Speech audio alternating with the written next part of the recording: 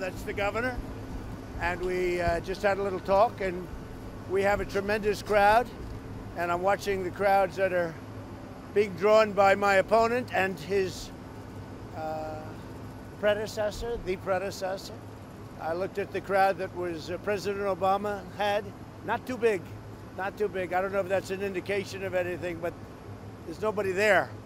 And we have, the governor was just telling me we have tens of thousands of people. And uh, we've had it everywhere. Then we're going to Wisconsin. I hear the crowds are very big up in Wisconsin.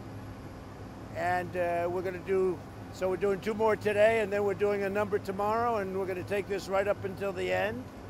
And then I suspect I'll rest for about two hours, but we'll see what happens. But I think we're doing very well.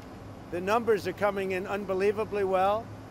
Uh, I don't believe the media's talking about them. I'm not sure the media knows exactly what's happening yet. But in Florida, we're doing very well. North Carolina doing very well. Iowa doing very well. Uh, the governor was just telling me that in Ohio we're doing great. I think they pulled back, pulled out. Something happened, but they seem to have pulled out. And uh, we'll see what happens. We'll see what happens. Well, we have 10 days, and uh, you know nothing worries me. It's I think we're doing just very well. You look at the numbers in Florida, we're way ahead where we were four years ago, right? Way ahead where we were four years ago, and uh, I think I can say that everywhere else. In North Carolina, we're way ahead where we were four years ago.